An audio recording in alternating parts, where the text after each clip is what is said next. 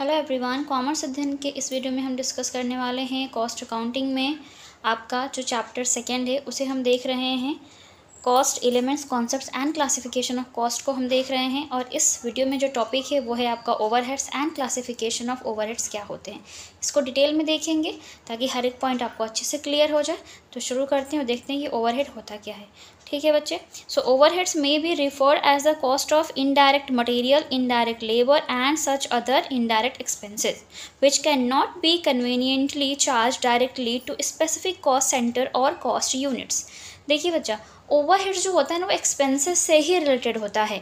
Expenses जो भी होंगे मीन्स प्रोडक्शन के टाइम जो भी पैसे खर्च किए जाते हैं उस प्रोडक्ट को बनाने में, ठीक है? और जो इनडायरेक्ट होते हैं इनडायरेक्ट का मतलब है जिसको आप डायरेक्टली एलोकेट नहीं कर सकते हैं पर्टिकुलर कॉस्ट सेंटर पे या कॉस्ट यूनिट पे या किसी पर्टिकुलर ऑब्जेक्ट के साथ। आप उसको जब डायरेक्टली नहीं कर पाते हैं एलोकेट या फिर आइडेंटिफाई तो हम उसको बोलते हैं इनडायरेक्ट एक्सपेंसेस और जो भी आपके इनडायरेक्ट एक्सपेंसेस होते हैं, चाहे वो इनडायरेक्ट लेबर से रिलेटेड हों या इनडायरेक्ट मटेरियल से रिलेटेड हों, ये सभी मिलकर बनाते हैं ओवरहेड्स ठीक है?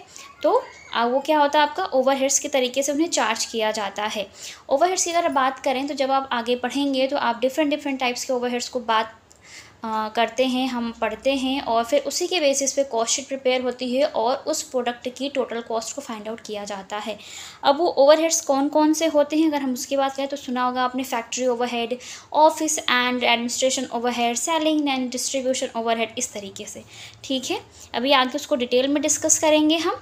अभी हम बात कर लेते हैं कि ओवरहेड्स किस तरीके से क्रिएट होता है? तो overheads are the aggregate of the following terms ठीक है? अब इन टर्म्स को यूज़ करके ही आप ओवरहेड्स को बना सकते हैं। क्योंकि जो भी इनडायरेक्ट एक्सपेंसेस होंगे, उन्हीं को जब आप एक साथ लेकर आते हैं तो आप उसको बोलते हैं कि ये ओवरहेड है।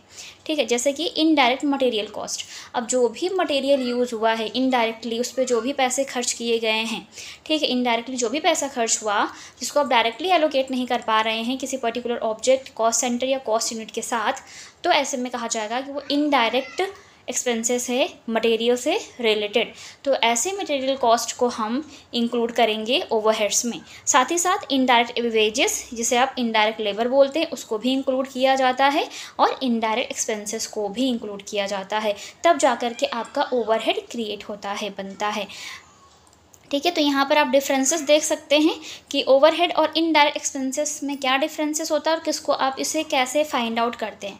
फाइंड आउट करने के अगर ओवरहेड्स की बात करें तो जैसे हमने ऊपर डिस्कस किया था, वही सेम फॉर्मूला यहाँ पर नीचे अप्लाई होगा indirect material cost plus indirect labour plus indirect expenses इसको इंक्लूड कर देंगे ऐड कर देंगे तो ओवरहेड निकल कर आ जाएगा। इनडायरेक्ट एक्सपेंसेस की बात करें बच्चा तो जो भी आपका टोटल ओवरहेड बनकर आया है ना, इन सबको इंक्लूड करने के बाद जो भी ओवरहेड्स आया है, उसमें से आपको माइनस करना है इनडायरेक्ट मटेरियल कॉस्ट को और इनडायरेक्ट लेबर कॉस्ट को।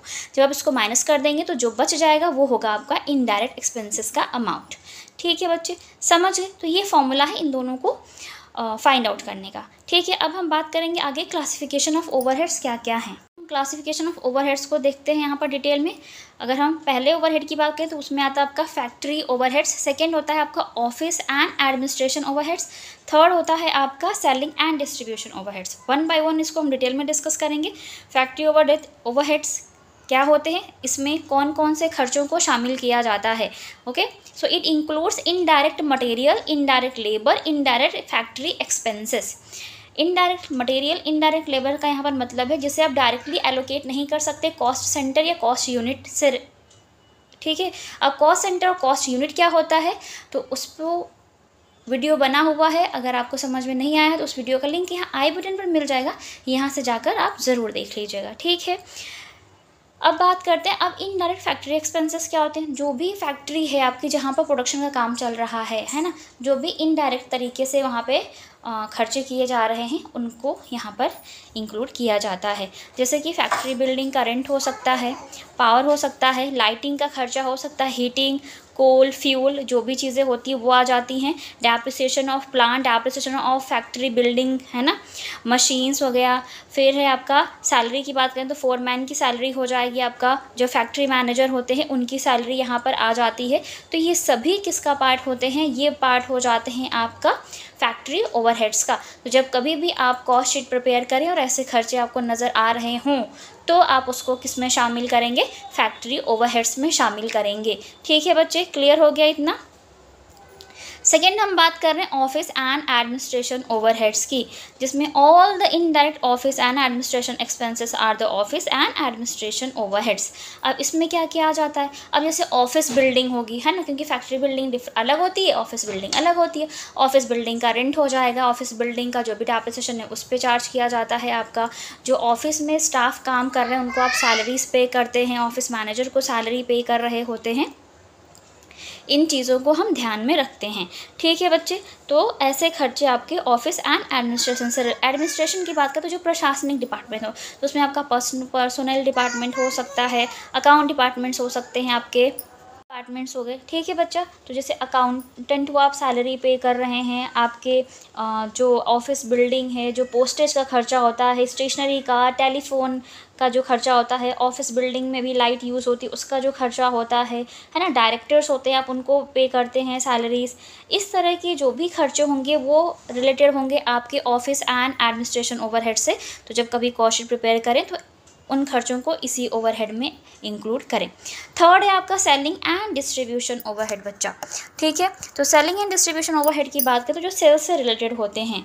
So all the indirect selling and distribution expenses are the selling and distribution overheads तो जो भी आपके इनडायरेक्ट सेलिंग एंड डिस्ट्रीब्यूशन से रिलेटेड खर्चा होगा, वो इस हेडिंग के अंदर आएगा। ठीक है, अब जैसे कि मान लीजिए एडवर्टीज़मेंट का खर्चा तो वो सेल्स को प्रमोट करता है ना एडवर्टीज़मेंट तो इस तरीके से जो प्रमोशन के खर्चे होते हैं, वो सब आ जाता है इसमें। अब आपके जो सेलर होते हैं, या आपने जो सेल्स मैनेजर्स रखे हुए हैं ठीक है? तो उनके जो भी खर्चे होंगे वो यहाँ पर इंक्लूड किए जाएँगे। वेयर हाउस होगा जहाँ पे आप माल को रखते हैं ना अपने स्टॉक्स को रखते हैं से, से सेफ्टी तरीके से। शिपिंग के चार्जेस हो जाते हैं जो इसमें इंक्लूड किए। ट्रांसपोर्ट एक्सपेंसेस आ जाते हैं। ठीक है? जो भी प्रोडक्ट है आपका स्टॉक है, उसका इंश्योरेंस होगा तो उसका खर्चा यहाँ पे आ जाएगा। पैकेजिंग का एक्सपेंसेस का खर्चा यहाँ पर आ जाता है। जो भी आपके सेल्स मैन है, आप उनको कमीशन पे करते हैं टाइम टू टाइम जब वो सेल्स को इंक्रीज़ करने में हेल्प करते हैं, है ना? तो ये सारी चीज़ें यहाँ पर आ जाएँगी। सेल्समैन की सैलरीज आ जाती हैं सेल्स मैनेजर होते हैं, है ना? बहुत सारे खर्चे यहाँ पर आते हैं। तो सेल्स से रिलेटेड अगर कोई भी खर्चा दिख रहा है तो आप उसको कहाँ पर शामिल करेंगे? सेलिंग एंड डिस्ट्रीब्यूशन ओवरहेड्स में इंक्लूड करिएगा। ठीक है? यकीन करती हूँ इस वीडियो में आपको ये सारे पॉइंट्स अच्छे से क्लियर हो गए होंगे एंड क्लासिफिकेशन ऑफ़ ओवरहेड भी अच्छे से क्लियर हो गया होगा। अगर ये वीडियो अच्छी लगी हो हेल्पफुल रही हो आपके लिए तो वीडियो को लाइक ज़रूर कीजिएगा, अपने फ्रेंड्स के साथ शेयर करें ताकि उनकी भी हेल्प हो सके। चैनल के साथ जुड़ने के लिए आप सब्सक्राइब का बटन प्रेस कर सकते हैं ओके ज़्यादा इन्फॉर्मेशन के लिए किसी भी टॉपिक से रिलेटेड आपको वीडियो चाहिए तो आप मुझे डायरेक्ट मैसेज करके बता सकते हैं इंस्टाग्राम पेज पे, या फिर डायरेक्ट कमेंट भी कर सकते हैं। यकीन करती हूँ ये वीडियो आपको पसंद आई होगी। सो मिलते हैं नेक्स्ट वीडियो में। तब तक के लिए take care and thank you so much for watching this video